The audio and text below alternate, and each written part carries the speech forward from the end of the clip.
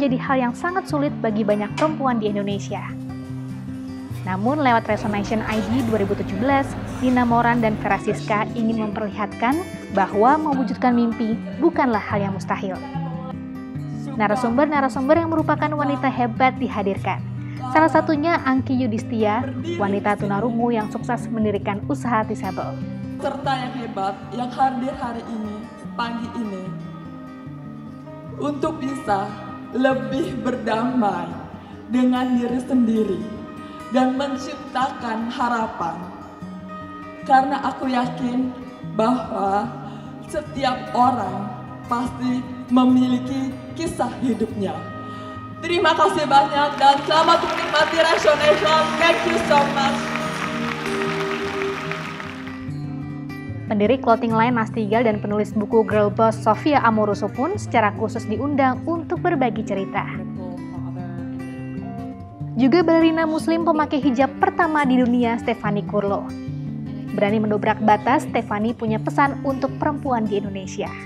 Always strive for your dreams and always believe that you can. Resonation yang baru pertama kali dilaksanakan ini sukses mengumpulkan ribuan peserta. Aku Laras, aku dari Bandung. Aku adalah seorang pharmapreneur.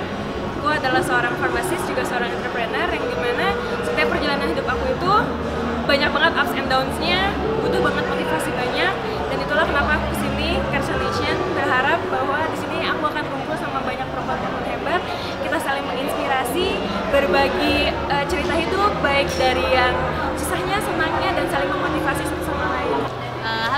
halo, aku Hafsya dari hitchup.com. Aku salah satu peserta Resonation 2017 uh, pesan aku tentang acara ini acara ini bermanfaat banget sih untuk women empowering. Jadi untuk seperti tadi dibilang sama MC-nya bahwa ini tuh jadi ajang curhat dan sharing kita semua bahwa uh, kita tuh menghadapi masalah yang sama loh sebagai perempuan gitu. Dan gimana sih menanggulanginya gitu diperkaya lagi dengan pengalaman setiap orang yang berbeda gitu. Nah, itu memperkaya wawasan dan pengetahuan kita juga jadi ada banyak banget ilmu bermanfaat di acara ini baik nggak cuma soal entrepreneurship tapi juga soal uh, ya living as a woman in general gitu menghadapi stereotip, feminisme dan eh, isu-isu uh, terkini lainnya.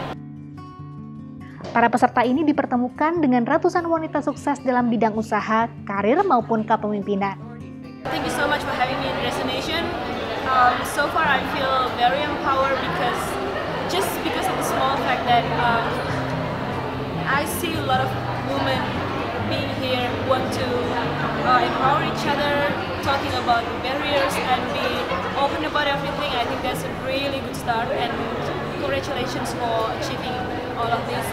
Saya uh, tertarik sekali waktu itu menjadi fasilitator karena melihat konsep acaranya yang sangat menarik, pembicara-pembicaranya yang hebat-hebat dan juga uh, kagum sekali saya melihat fasilitatornya yang juga kayaknya luar biasa banget gitu. Hasilnya adalah sebuah gerakan pemberdayaan atau empowerment yang sangat penting untuk memajukan kaum perempuan di Indonesia. Hi, I'm Coach Cynthia from Action Coast South Jakarta. To me, being an empowered woman means that you know when to be um, strong, when to be tough, and you also know when you need to be soft and you also need to be nurturing as a woman. I think it's striking knowing who you are and going after your dreams and your potential in life. Sukses menggerakkan ribuan wanita, Resonation ID kedua akan kembali hadir pada bulan April tahun depan.